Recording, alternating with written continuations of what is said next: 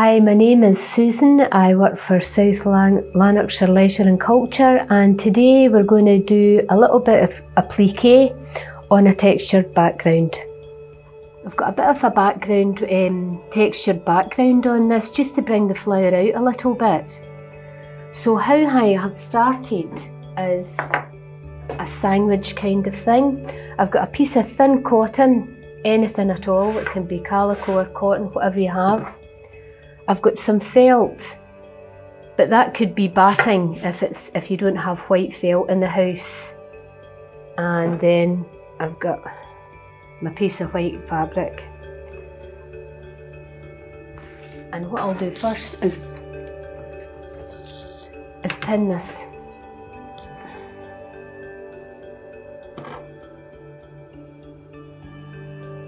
I'm just going to pin it just so that when I start to um, so it's not all starting to move about.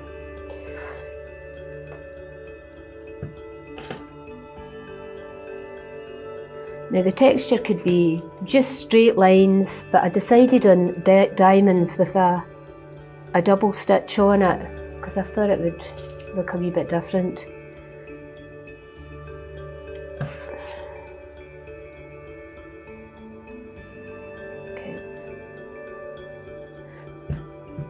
Now to work out the diamonds, all I did was I turned the fabric over and I used a business card as my width.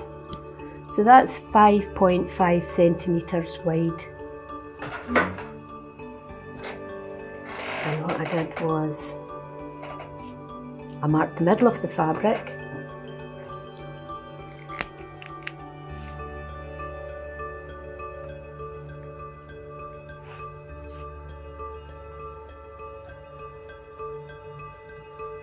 and then I'm going to just take lines off of that. Let's get a ruler.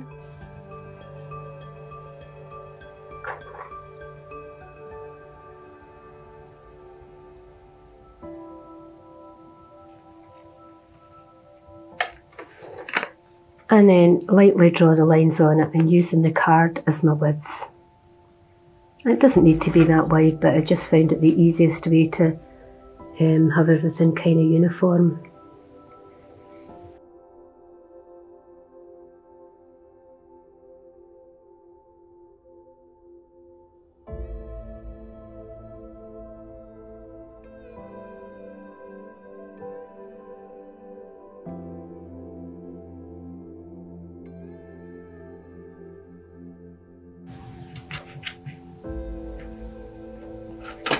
There's no need to draw the other line in because we'll just do that with the, the needle position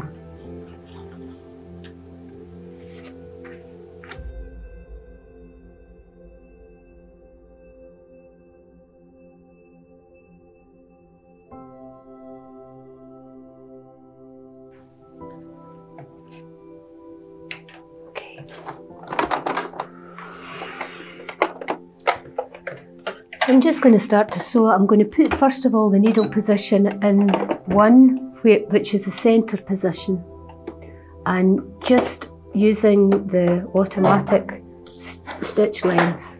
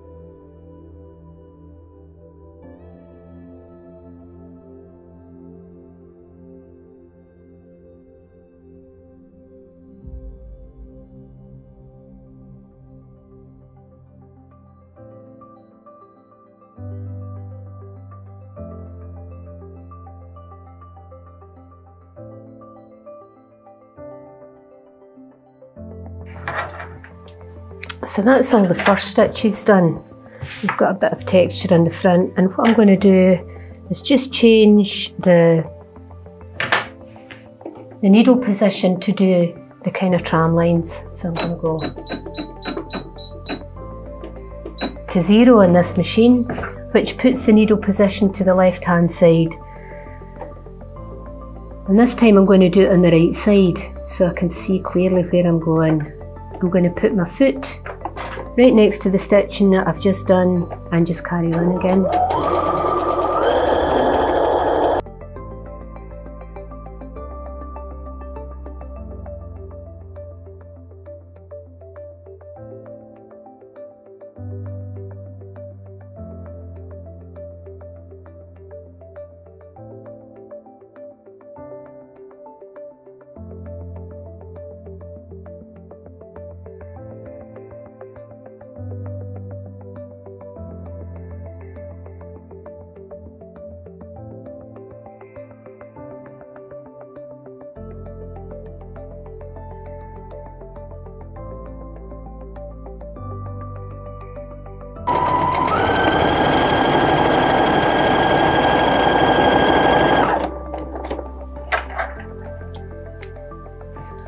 That's the background done for just now. So you've got a bit of a texture going on and it just pulls out the flower a bit more. So the next part will be cutting the pattern. What I did was I just got a drawing, a line drawing, maybe downloaded off the internet or from a pattern and marked the two colours that I wanted in felt pen I then went round the petals just to mark one, two, three, four, five so that I knew where I was going to place them. I cut each one of these shapes out into card, which I have here.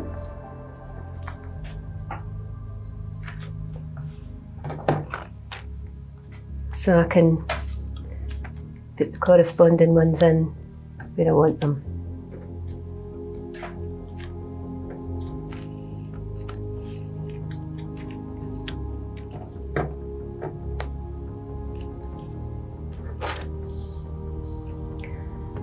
Then what I'm going to do is cut these shapes out onto fabric.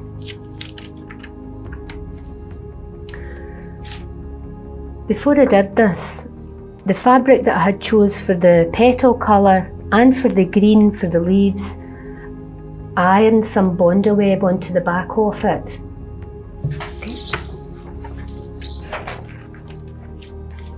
So just a small piece of fabric here with Bondaweb on the back and then I'm going to turn it upside down and draw each petal on it. Now I've marked F on the front so I know that this is the front. I'm just going to do it upside down.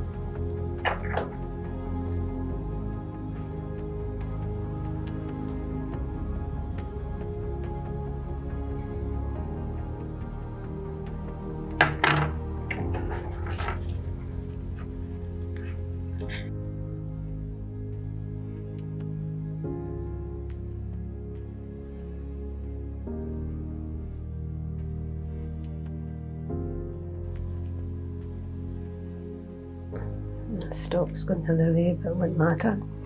Um, the stem, make it just slightly longer so that it's going to go underneath the, the petal, okay?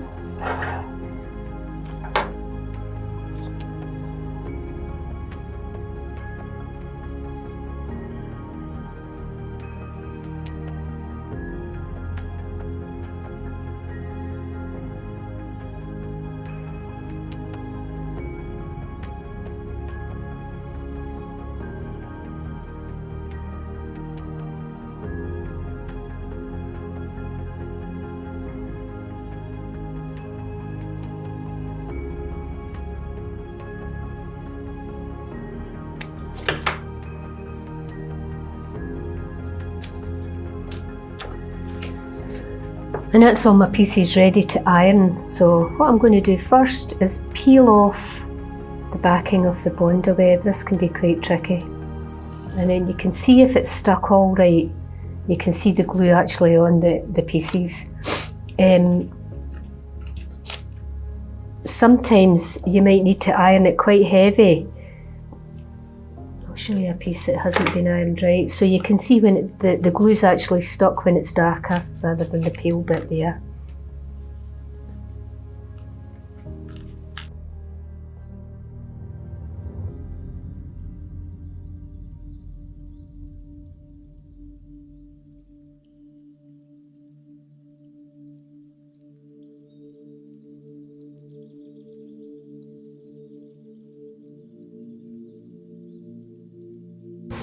And that's all my pieces ready to iron onto the background. Once you've placed all your pieces in position, what I've done, I've, I've put the stock on first so that the, the petal overlaps it, so it's not just button up into the edge and you get a nicer finish. Don't worry too much about getting all the petals joining because we're going to satin stitch around them and that's going to take up a bit of space. So you want them kind of a wee bit of space in between and everything's in place. I'll just put this down in case there's any glue coming through. And just holding the iron down rather than ironing up and down just to get the glue sticking. It might take a couple of goes.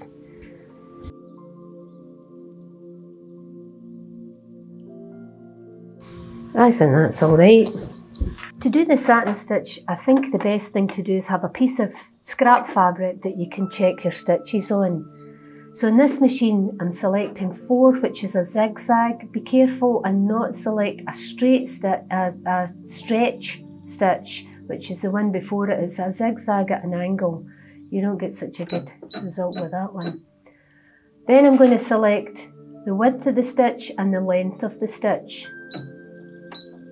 This one here's the length and I'm going to be just going up and down them until I'm satisfied with the, the satin stitch width. So that's quite wide, I'll just bring it right down.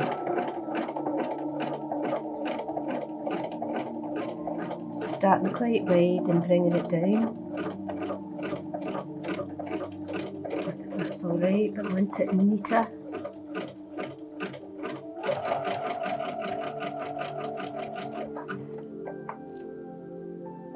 Just a wee bit tighter, bring the stitch length down a wee bit more.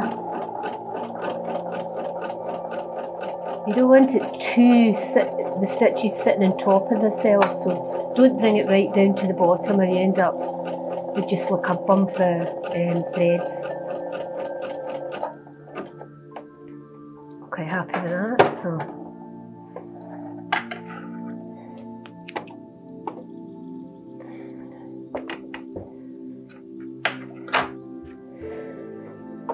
start right at the petal,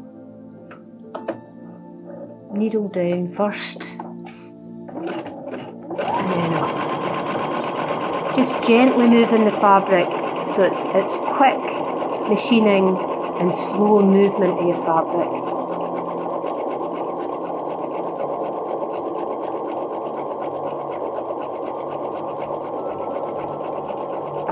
Zigzag foot on this machine here which has a clear part in the middle of it, it makes you be able to see what's underneath. So if you can see through the toe and just follow the, the pattern. I'm getting to a really tight corner. I'm going to just shunt the fabric in just a wee bit.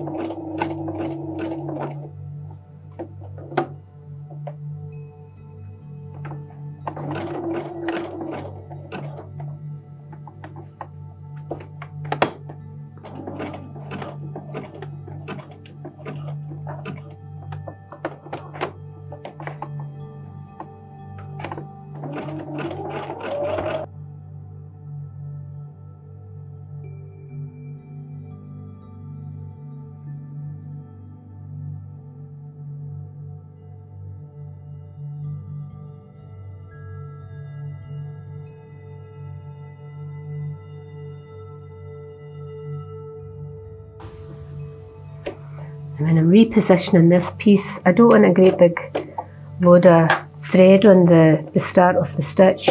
So once I find out where I'm going to start, I'm just going to pull the thread back through so it's nice and neat.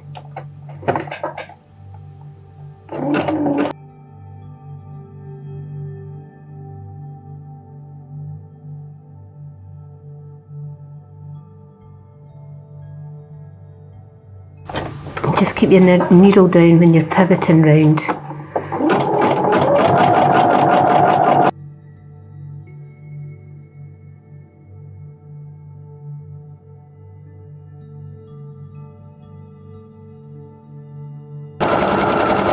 I'm going to go oh, a wee bit over here to look as if the, the, the leave's folding.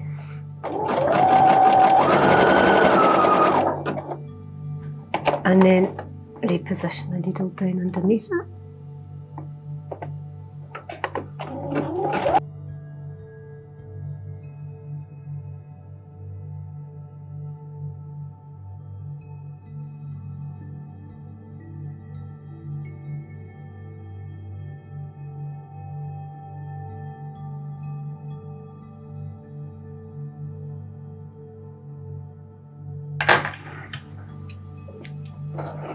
And we'll pull through the threads to the back just to make a neater finish.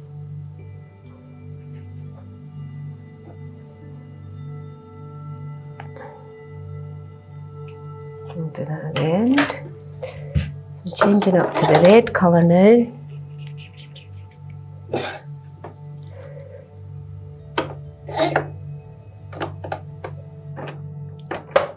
Before I start the satin stitch on the petals, I'm going to do a few kind of vein type things. It just gives it another bit of interest. So I'm going back to a straight stitch with the needle in the centre position. And I'm going to make this stitch quite small. So I'm going to choose a kind of low part in the stitch length. I'll just give that a wee try.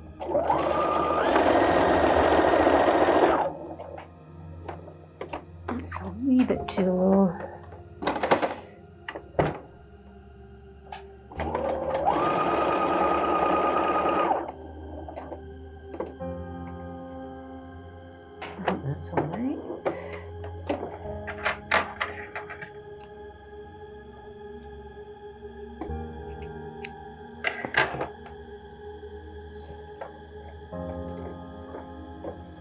So it's just starting in the centre position making some lines. Oh, there's my thread out again, of course. So needle in position and just move it wiggly about the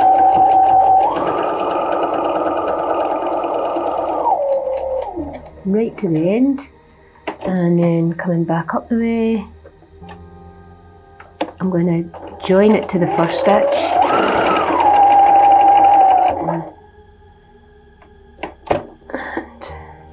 We'll catch all these threads in the satin stitch when we go around it.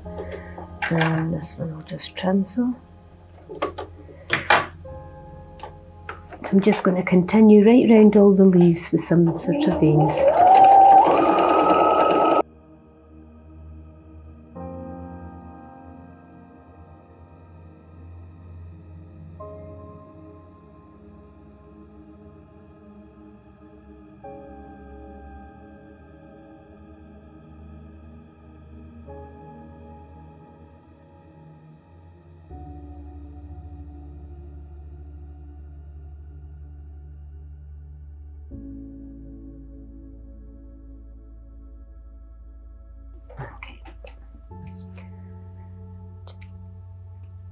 Just trim down the threads. You don't need to pull these ones through because they will get caught underneath the satin stitching as we go around the outside of the, the petals.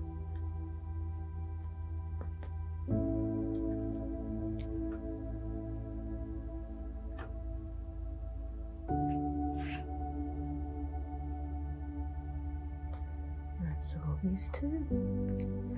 So yet again, I'm going to have to just double check the stitch as I've been messing about with the, the length of it.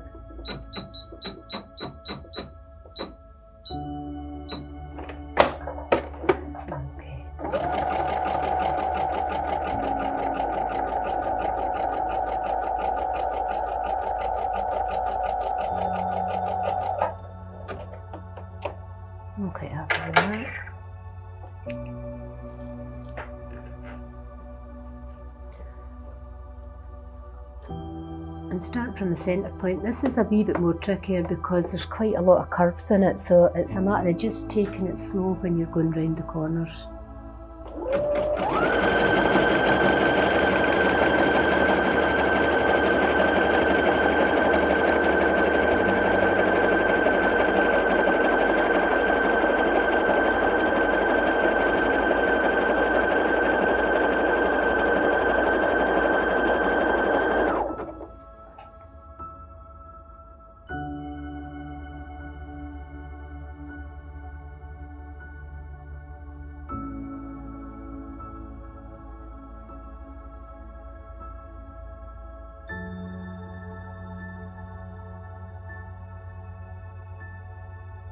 So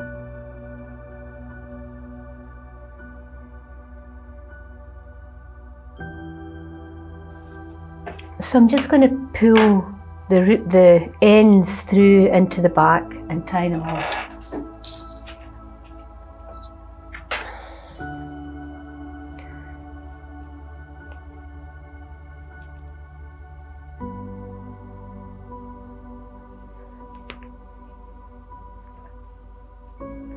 Using a pin, you can just see where that thread's lifting up. I don't know if you can see that. Put my back. And you've got that one. And then I have another one down here to do.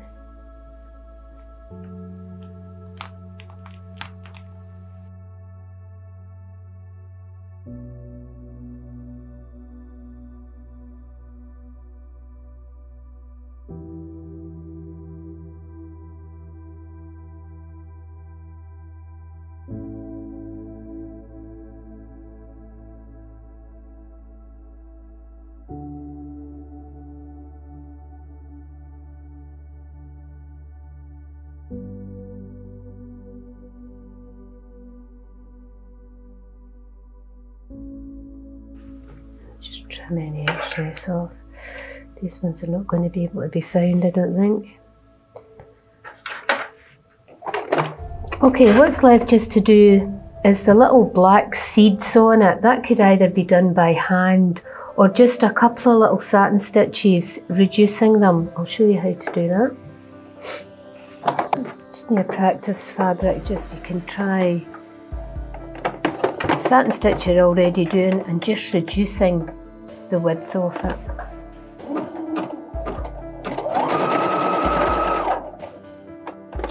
So you get sort of little seed-like things. So you start it even higher up. And just pulling it down.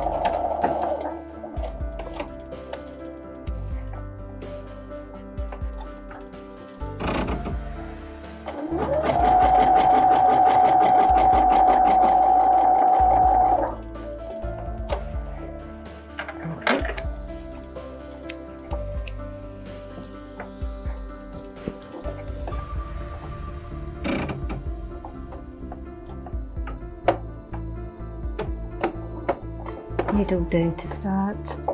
And just have your finger on the width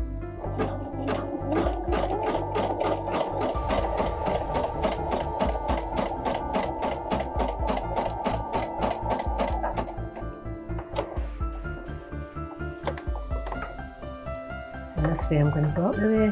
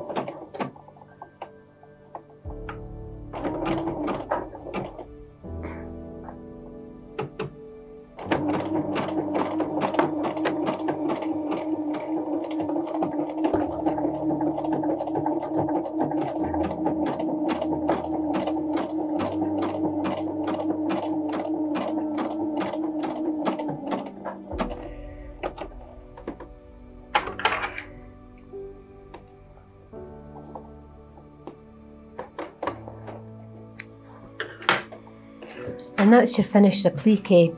Just trim the edges and you can either bind it or you could mount it.